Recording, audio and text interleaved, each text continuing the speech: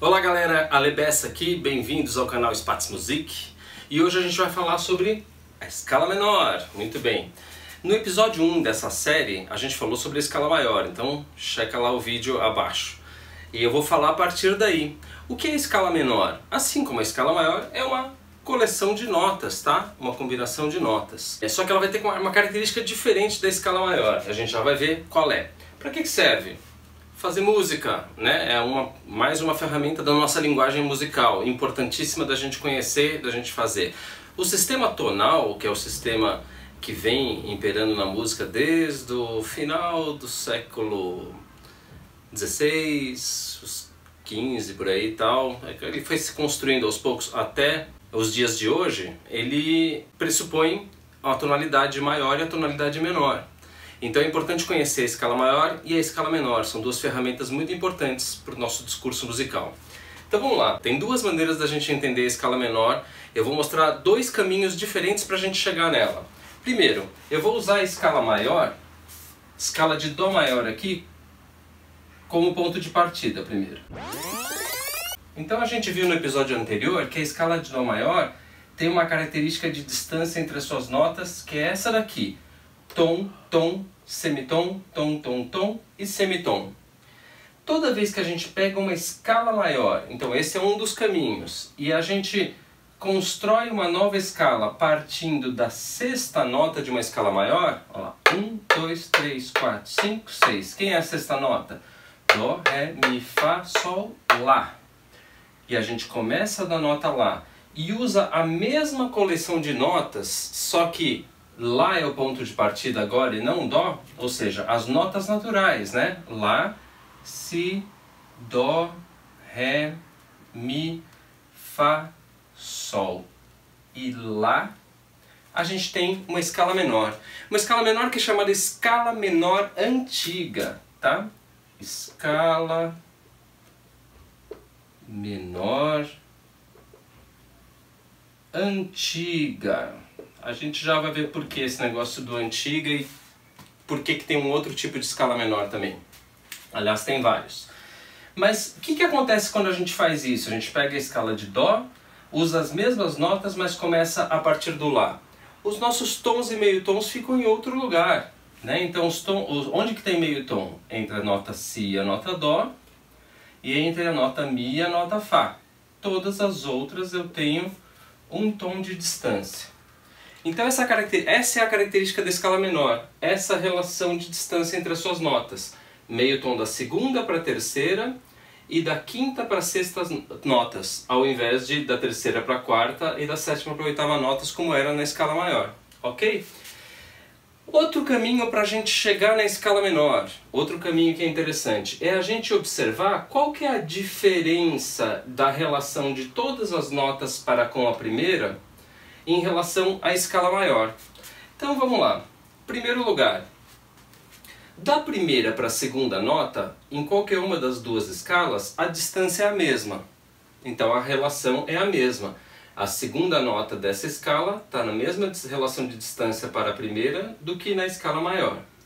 A primeira diferença vem aqui, ó, na terceira nota. Tá vendo que a terceira nota está mais próxima da primeira do que aqui em cima. Aqui em cima ela está dois tons acima da primeira, ao passo que aqui embaixo ela está um tom e meio acima, a, a, um tom e meio acima da primeira. Então esse é o primeiro pontinho aqui onde eu vou assinalar para a gente prestar atenção com esse símbolozinho aqui. Essa nota é diferente, a relação de distância para a primeira nota, do que aqui em cima.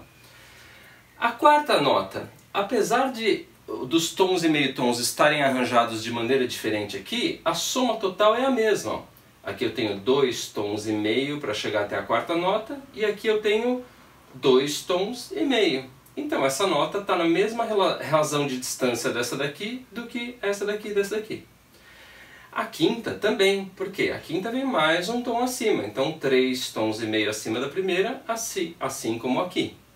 A próxima nota que vai estar numa distância diferente é a sexta nota. Observem que a sexta nota está só meio tom acima da quinta aqui, né? Ao passo que a sexta nota numa escala maior está um tom acima da quinta. Então aqui eu tenho uma outra nota que está numa distância diferente em relação à primeira, a sexta nota. Então vamos anotar aqui em cima, terceira a sexta. Se eu contar os tons e meio tons, ó, um, dois e meio, três e meio, quatro e meio até a sexta nota. E aqui, um e meio, dois e meio, três e meio, quatro até a sexta nota. Muito bem? E a sétima? Vamos contar a distância de novo aqui, ó. Um e meio, dois e meio, três e meio, quatro, cinco tons acima essa nota aqui. Então guarda aqui, ó, na memória. Essa nota está cinco tons acima dessa. E essa em relação a essa? Um, dois e meio, três e meio, quatro e meio, cinco e meio. Então essa nota aqui também é diferente. A sétima nota está meio tom mais próxima da primeira do que aqui em cima. Então, numa escala menor, efetivamente, o que, que eu tenho? Eu tenho três notas, a terceira, a sexta e a sétima notas, que estão um pouco mais próximos da primeira nota aqui.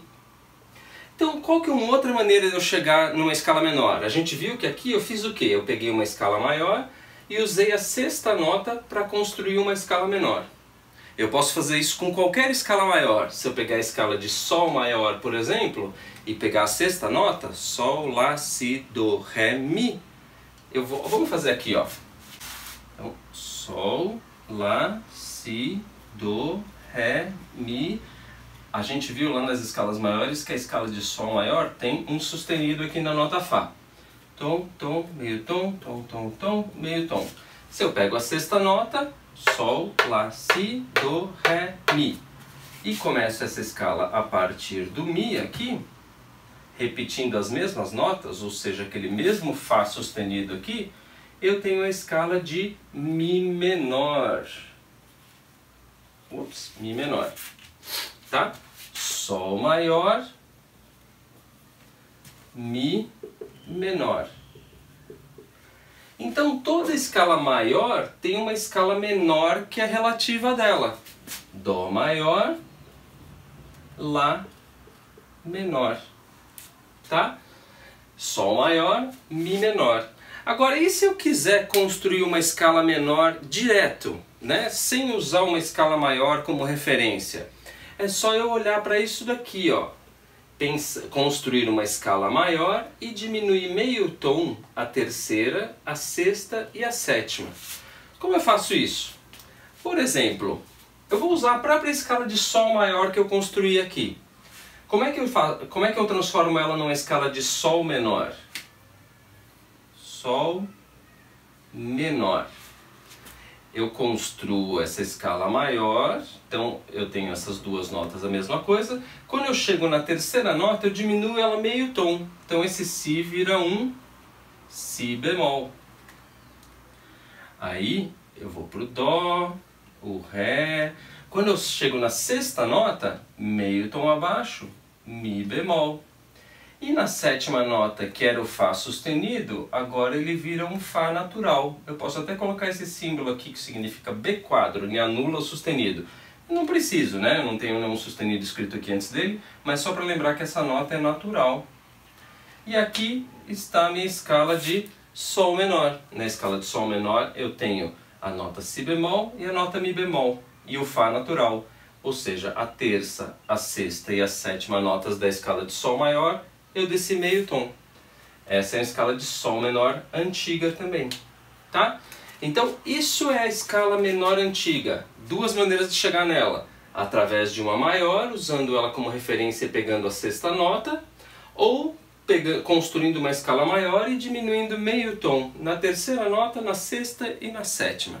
São dois caminhos para a gente chegar na escala, dois caminhos para a gente chegar na escala menor, tá? Agora, essa é a escala menor antiga. Existe uma outra escala menor que é muito interessante, muito importante, chama escala menor harmônica. Eu vou explicar já já o, qual é, qual, o porquê dessa escala. Mas vamos lá. O que é uma escala menor harmônica? É a escala menor antiga com a sétima nota alterada meio tom acima. Ou seja, quem é a sétima nota de, de Lá menor aqui? Sol. Se eu construir uma nova escala de Lá menor igualzinha a essa e alterar o Sol para Sol sustenido, eu tenho a escala menor harmônica de Lá. Se eu pego a escala de Sol menor aqui e altero a sétima nota, olha o Fá que eu tinha colocado natural, e volto ele para ser sustenido, essa escala vira Sol, vamos anotar aqui o nome, menor harmônica. Muito bem. Para que, que serve esse negócio da menor antiga ou da menor harmônica, né? São duas escalas que normalmente coexistem quase o tempo todo nas músicas de tonalidade menor. E por que isso, né? Porque essa nota aqui, alterada na menor harmônica, vai cumprir uma função harmônica muito importante, que é de aguçar o nosso ouvido para ouvir a nota principal da escala de novo é, após dela. E essa, essa relação de meio tom é o que faz isso, que acontece naturalmente numa escala maior. A sétima nota de uma escala maior está meio tom da nota principal da escala. Isso é uma questão de harmonia que a gente vai estudar na, na formação dos campos harmônicos no próximo vídeo. Tá? Mas é importante saber que a origem dessa nota é justamente para favorecer a harmonia, né? a condução, a sensação de que é, existe uma tensão que deve ser resolvida na nota principal da escala. Então, hora tem hora na música onde essa, essa nota vai ser necessária para que eu tenha esse objetivo, e vai ter hora que não. Então, essas duas escalas, a menor antiga e a menor harmônica, elas quase o tempo todo coexistem nas músicas de tonalidade menor. Agora eu vou mostrar para vocês a sonoridade da escala, dessas duas escalas, a escala menor antiga e da escala menor harmônica. Eu vou tocar aqui essa escala de Lá menor antiga, da nota Lá até a nota Lá, sem nenhuma alteração, nenhum sustenido, nenhum bemol.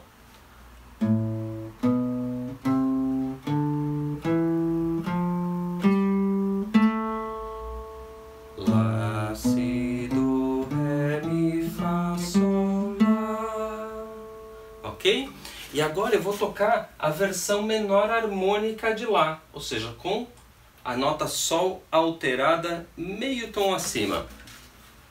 Lá, Si, Do, Ré, Mi, Fá, Sol, Lá. Olha como essa nota Sol dá esse sabor diferente. Na hora que ela aparece, eu sinto que depois dela deve vir um uma nota lá para resolver essa tensão, tá? Muito bem. Agora eu vou dar um exemplo de para o pessoal que toca violão, como é que pode experimentar um pouquinho a sonoridade da escala de Lá menor. Né? A gente pode usar a corda Lá, que está aqui, procurar notas da escala de Dó, como por exemplo, aqui tem um Dó na primeira casa da corda Si. Então se a gente tocar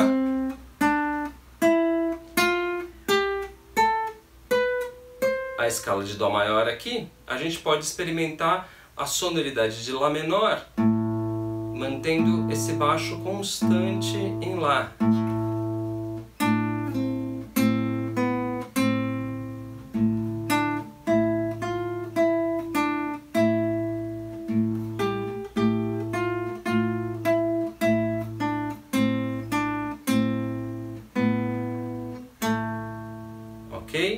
Para quem toca piano, né, outra maneira interessante, eu vou mostrar para vocês. Vamos lá, galera. Então, um exercício interessante de fazer. Manter a nota Lá constante, procurar a nota Lá, que é essa nota aqui, a segunda branca entre três pretas, né? Manter uma nota no baixo aqui e opa, isso aqui e passear pelas notas das teclas brancas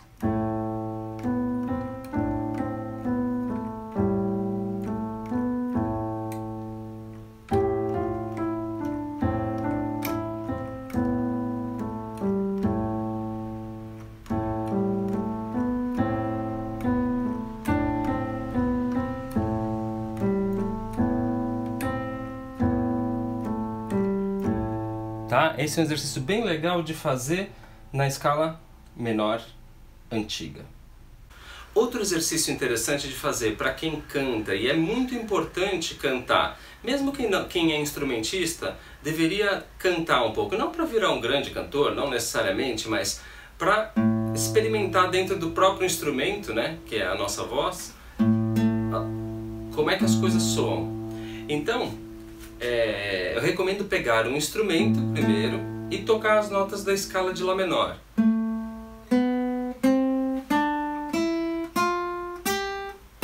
Isso pode ser feito no violão, no piano. No piano é bem fácil porque são as teclas brancas, escala menor antiga, né? Tá? E cantar isso algumas vezes.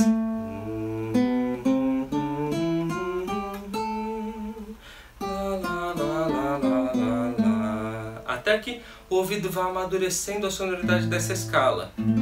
E depois pode manter o acorde de Lá menor.